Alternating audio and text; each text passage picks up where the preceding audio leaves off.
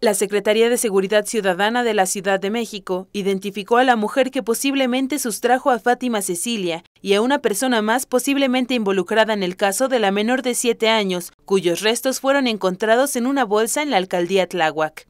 El titular de la dependencia, Omar García Harfush, dijo que lo anterior se dio luego de diversas entrevistas realizadas a habitantes de las alcaldías Tláhuac y Xochimilco. Es un hecho lamentable que hoy ha tenido un gran avance y que aseguramos que no va a quedar impune y que estos lamentables hechos jamás van a quedar impunes. El vocero de la Fiscalía General de Justicia de la Ciudad de México, Ulises Lara López, dio a conocer las fotografías de la pareja que están buscando por presuntamente sustraer a la niña Fátima Cecilia.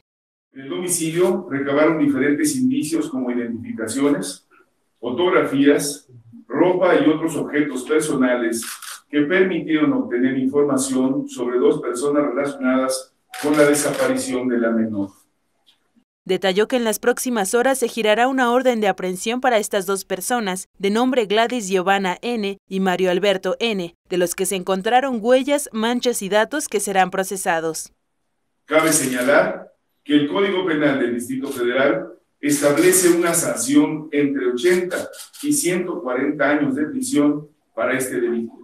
Y desde luego, la Fiscalía de Justicia de la Ciudad de México solicitará a la autoridad judicial todo el peso de la ley para castigar a quienes tuvieron participación en este indignante hecho.